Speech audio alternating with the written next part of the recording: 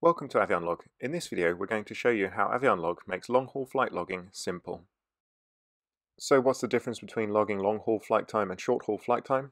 Quite simply, like most logbook apps, AvionLog calculates your total time from your off-block time to your on-block time. If the amount of time you need to log isn't the difference between those times, then dividing that time just takes a little bit of extra work. Specifically here we're talking about while you're operating as part of a heavy crew. The other thing when flying as part of a heavy crew that can be difficult is calculating how much night time you flew. And with AvionLog's graphical tool, this is done for you, so you can very quickly indicate when you were and weren't in the seat. Let's get started with a live run through so you can see exactly how this tool is going to make your flight logging much faster. So here we go, I've entered a theoretical flight from Singapore to JFK in a Boeing 777-200. It's showing us a distance 8,283 nautical miles. And we've put the relevant data in. We just need the off blocks, on blocks, time. Uh, we could put the takeoff and landing in as well as we want. Because we've indicated that we're pilot flying, it's calculated the day landings and the night takeoff.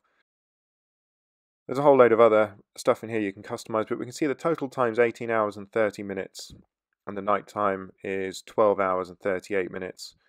Let's say, however, we want to enter this and say we flew half the flight. Now it's going to take a guess and say that we were in the seat perhaps, you know, a quarter at the beginning and a quarter at the end. So something like this. And we can see the flight duration shown up as 18 hours and 30 minutes. And if we're actually the relief pilot, we can just tap the plus buttons and we see the relief time has gone in as 9 hours and 15 minutes and the relief night time has auto calculated. It might not be 100% accurate, but it gets you started into the right ballpark. I certainly know when I've flown long haul um, at the end of the flight trying to think how much of that was actually at night. Often I really didn't have any idea. Let's say, for example, however, we were flying a three person crew, so we were in the seat for two thirds of the time. Let's take these times out, and now we can see what's actually going to appear. We can see we've got some extra boxes here. Now, there's more possibilities of when you were in the seat. And let's say that we're still flying, so we did the first two sixths of the flight and the last sixth. And we can see the flight duration is still the same. And we can see the new relief time calculation and the new re relief night time calculation. And you'll see the total time has been adjusted because now that's what you're claiming you're logging. It's very simple, but this is how the AvionLog relief time factor works.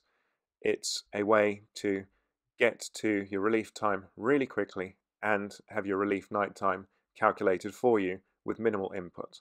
And so how do we set this up in AvionLog? Well, it's a fully customizable logbook. So if we go into settings, display, flight editing fields and orders, as you scroll down, you'll see loads of entries. The first uh, section is all about your flight. So everything that you want to log and notice you can even log the relief crew for your flights, and there's the ability to log up to four relief crew. But if we keep going down now into the time section, and at the moment I've got this set up all the way at the bottom, we've got relief time factor switched on, the relief time, relief night time, and the flight duration.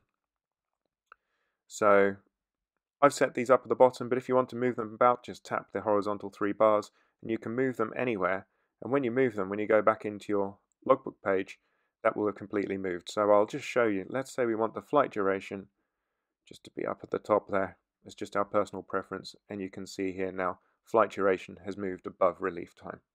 Thanks for watching AvionLog. If you're not familiar with us, uh, do check out the video. That's just popping up in the top right hand corner to uh, learn all about our industry leading free trial. And uh, remember to click that like button and subscribe to the channel to see more of our content coming soon. Thanks and fly safe.